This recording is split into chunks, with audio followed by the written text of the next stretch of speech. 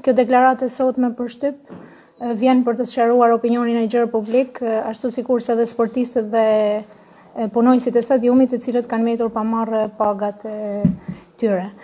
Duhet të sqarojmë opinionin publik në lidhje me qëndrimin e Këshillit Bashkiak për situatën e krijuar në klubin e futbollit Vllaznia, si dhe të bëj një thirrje në lidhje me këtë situatë. Fillimisht dua të them që Situata e krijuar nga klubi Vllaznia nuk vjen aspak nga Këshilli Bashkiak, përkundrazi, ky Këshill Bashkiak po trashëgon një situatë të krijuar vite më parë. Në nëntor të vitit dy mijë e nëntëmbëdhjetë, ky Këshill Bashkiak ka zhvilluar mbledhjen e parë si asamble e klubit Futboll Vllaznia, në të cilën është kërkuar që të miratohen, të shqyrtohen pasqyrat financiare të vitit dy mijë e tetëmbëdhjetë dhe pasqyrat financiare të vitit dy mijë e nëntëmbëdhjetë. Pasqyrat financiare të vitit dy mijë e tetëmbëdhjetë duhet të ishin miratuar që në nëntor të vitit dy mijë e tetëmbëdhjetë ose afati maksimal ka qenë të miratoheshin në mars të vitit dy mijë e nëntëmbëdhjetë. Një miratim i tillë nuk ka ndodhur dhe për rrjedhojë kanë ardhur të shqyrtohen dhe të miratohen nga Këshilli Bashkiak aktual, që funksionon edhe si asamble e klubit futboll Vllaznia. Këto pasqyra financiare nuk janë miratuar për arsye të një raporti që është shoqërues dhe shterues, ezaurues për problematikat që kanë, ashtu sikurse një problematikë kryesore është fakti që këtyre pasqyrave financiare u mungon raporti i Këshillit Mbikëqyrës. Në këto kushte, Pasqyrat financiare nuk mund të regjistrohen në QKB dhe për rrjedhojë asnjë veprim tjetër që do ndërmerret nga SHA Vllaznia nuk mund të regjistrohet në QKB. Atëherë, pasqyrat financiare janë të paregjistruara, Këshilli Mbikëqyrës është i paregjistruar.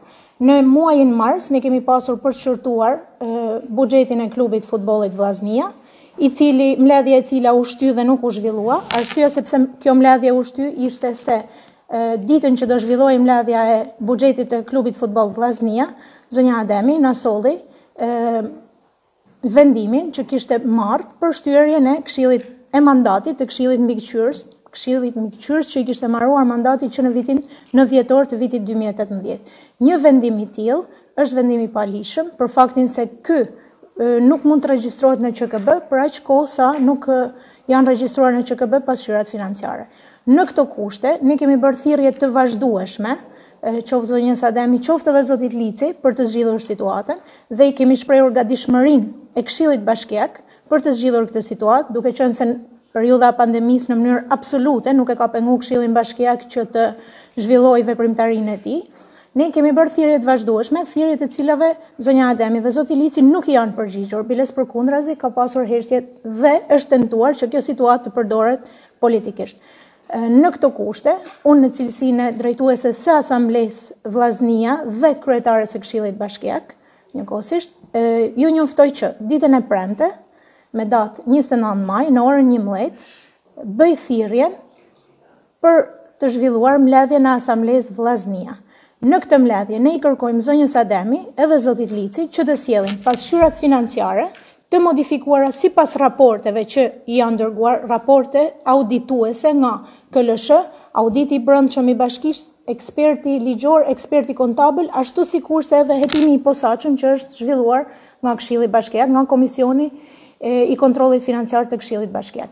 Ashtu sikurse duhet të sjellin edhe buxhetin e Klubit Futbollit Vllaznia të modifikuar sipas atij raporti që ne i kemi dërguar. Nëse këto dy dokumente, pasqyrat financiare edhe buxheti do të vinë në Këshill Bashkiak të modifikuara, ne do të do të vazhdojmë shqyrtimin e tyre dhe do zhbllokohet ngërçi. Në rast të kundërt, në mënyrë absolute situata do vazhdojë të jetë e njëjtë. Është e ligjshme mbledhja e asamblesë sepse do duhen njëzet e një ditë për të marrë. Është e ligjshme, është e ligjshme mbledhja e asamblesë, duke qenë se mbledhja datë e marsit nuk është shtyrë, është një mbledhje e shtyrë, kështu që konsiderohet një mbledhje e ligjshme dhe njoftimi bëhet pesë ditë përpara. Duke qenë se jemi në në limitet të nisjes të rinisjes kampionatit në të kundër prejtë në të ishtë të mund të rëzikojë seriosisht Vllaznin. Mund të kryen procedurat për të shpejtuara pra që të keni edhe një komunikim ndoshta më të shpejtë edhe me zonin Ademi, por në të ishtë edhe me pjesën tjetër të këshillit. Komunikimi edhe thirrjet e vazhdueshme ndaj zonjës Ademi dhe zotit Lici kanë qenë me dalje publike, me thirrje publike dhe thirrja e fundit që Këshilli Bashkiak i është drejtuar zonjës Ademi daton me në 13 maj me një shkresë zyrtare që Komisioni i Kontrollit Financiar i ka kërkuar zonjës Ademi që të, të modifikojë këto dy dokumente dhe të na i sjell në Këshill. Kështu që Në këto kushte, situata ka arritur në limite, por kjo jo për faj të Këshillit Bashkiak, por për faj të neglizhencës së institucionit të Bashkisë. Kjo e njohur në një shkresë që zonja Ademi ka bërë publike në disa fora, cili është po. qëndrimi ndaj asaj shkresë? Zonja Ademi ka bërë një shkresë publike në të cilën i kërkon Këshillit Bashkiak që të mblidhet Kur ta thërras këshillin mbledhjen e asamblesë administratori.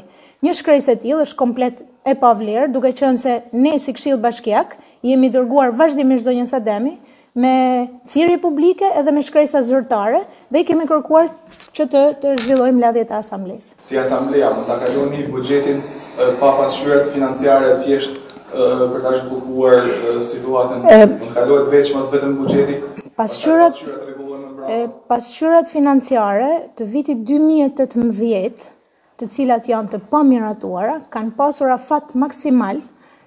të miratimit të tyre në mars të vitit 2019. Mund të kishte shkuar miratimi i tyre deri në qershor të vitit 2019, periudhë në të cilën ka pasur mandat edhe këshilli i i kaluar. Në këto kushte i bie që kemi pasqyra financiare të dy viteve për të miratuar dhe mosmiratimi i pasqyrave financiare sjell edhe bllokimin e çdo lloj veprimi tjetër për t'u regjistruar në Qendrën Kombëtare të Biznesit. Sigurisht, miratimi i buxhetit nuk është një veprim që regjistrohet në QKB, por miratimi i buxhetit në mënyrë absolute duhet të shoqërohet me raportin e Këshillit Mbikëqyrës ose Bordit që që në vitin 2018, në dhjetor të vitit 2018,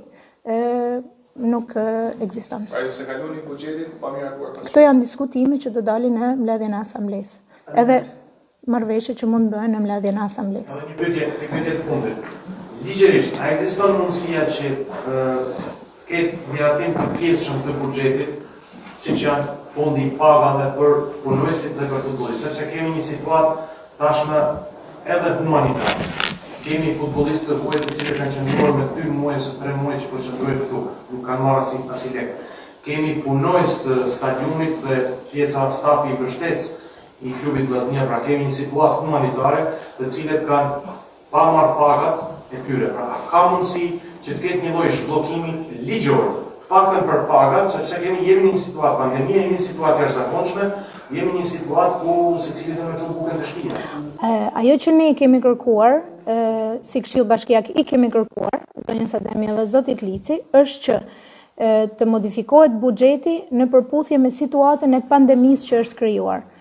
që do të thotë që do të jenë primare dhe prioritare pagat e e pamarra të punonjësve dhe sportistëve.